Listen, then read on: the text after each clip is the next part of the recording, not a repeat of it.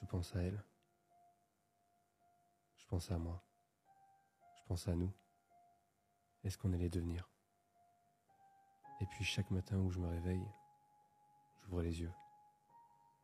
Je regarde autour de moi. Et je comprends.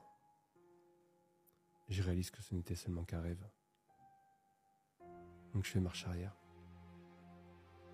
Je ferme de nouveau les yeux jusqu'à repartir dans ce rêve, en espérant qu'à chaque rêve,